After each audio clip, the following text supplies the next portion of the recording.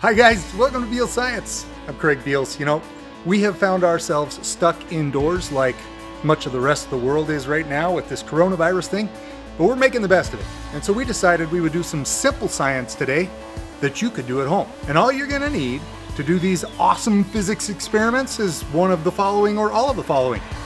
This stuff, bread clip, a pack of gum if you've got these foil gum wrappers, and a bottle. Specifically, we want the bottle cap. Let's learn some science together and make some projectiles out of regular old kitchen stuff. Let's kick this off with the bread clip catapult. That's the little plastic clip that keeps the bread fresh. We're gonna split that in half. So now we have two little projectiles. And the way you put it on your finger is really what makes this work. You got to hook it up underneath your fingernail and then just fling the thing.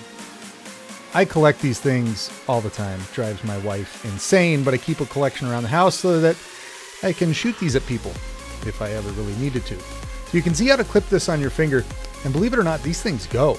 Like, they'll go a long ways, and they actually travel very fast. And with a little practice, you can get pretty accurate too. I hit the camera on that one. Nice. I thought, here we go. Let's turn this into a science experiment and really see if we can figure out the velocity or the speed. I put a meter stick up on the fence and then I've got a phone running a timer. Because for velocity, we need distance over time. That's also called the speed. I'm using another camera from a phone. You can do this at home. This is a really simplified way to figure out the speed of an object. So we can see when it crosses the zero mark, it's at time 12.22 seconds. It crosses the 90 centimeter mark at 12.27 seconds, and we've gone 90 centimeters. That's 40 miles per hour. That's 64 kilometers per hour. How are we getting those kind of speeds? Well, it has to do with rotational kinetic energy. When my finger comes flying off my thumb, it's providing energy or a force that goes with the clip. Now, the clip would just stop with my finger, but Newton's first law says an object will remain in motion unless acted on by an outside force. And since there's no outside force, it keeps going.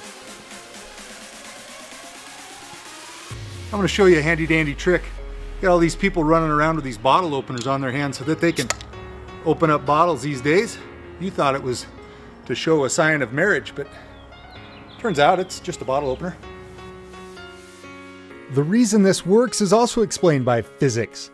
This is just leverage. So I'm using my finger and then the ring as a lever to pry something open. Now, to get it to fly, I've got to hold it in a very specific way.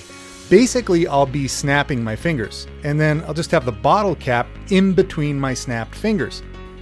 That provides the rotation, the energy, the rotational motion to get it to fly off my fingers.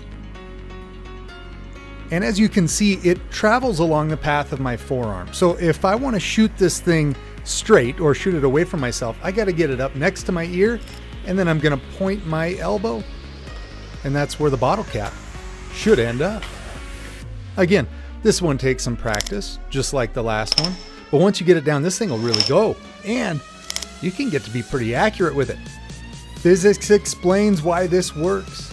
We're adding energy, rotational motion into that bottle cap, and it would stop at the end of my finger, but Newton's first law says it will remain in motion if nothing causes it to stop. Now, I figured, let's see if we can get this thing to fly at the same speed as the bottle cap. We got it to go about 1 meter in 0.06 seconds. That's 60 kilometers an hour or 37 miles per hour. That's fast.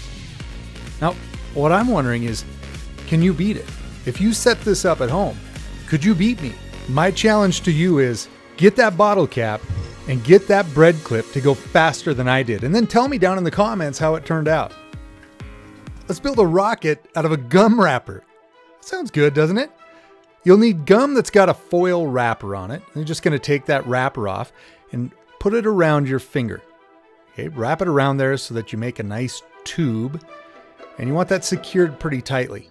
Then you got to take the top, pinch it nice and tightly, and then roll it up ever so slightly and get it clamped down. Our rocket is going to fly using the principles of volume and pressure, or changes of volume and changes in pressure.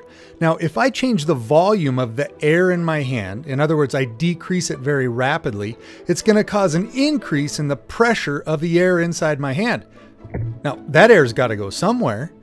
And if I have my little gum wrapper rocket on top, it's going to come shooting out because of the change in pressure. Now, my kids were helping me this day, and my son said, Oh, let me try. I can do that. Maybe he could use one more lesson. There's the one you made. Put it in here like this. Watching.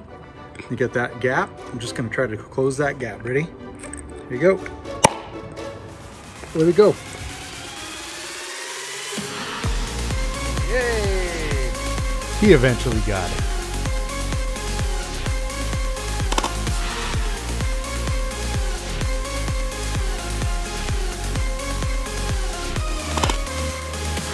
Hey, we hope you learned some science that you can try out at home, especially if you're stuck at home right now with all this coronavirus madness. And we also hope that you stay well. But the reason we always make these little videos is to remind you to keep on learning. Well, thanks for watching. Go eat some bread.